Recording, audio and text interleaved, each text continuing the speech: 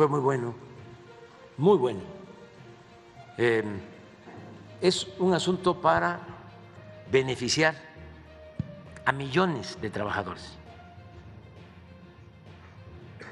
Esa reforma es para corregir un agravio, un daño causado en el periodo neoliberal.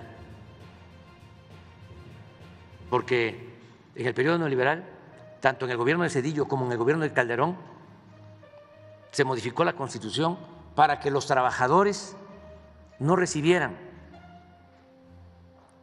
completo su sueldo al momento de jubilarse.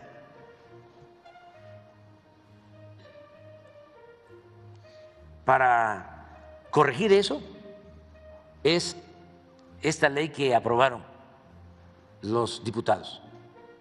No les gusta, ¿a quién no les no le gusta la ley? Pues a los que en ese entonces la aprobaron, eh, aprobaron lo de Cedillo y aprobaron lo de Calderón. ¿Y qué cosa fue lo que aprobaron? Se los vuelvo a explicar. Esto para todos los trabajadores, porque estamos hablando como de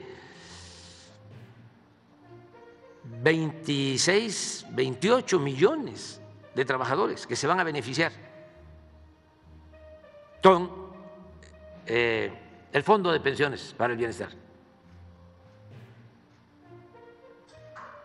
Y que no se dejen engañar porque hay una campaña en contra.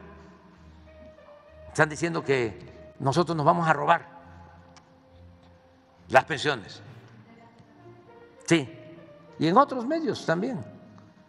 Y los conservadores, opositores, corruptos,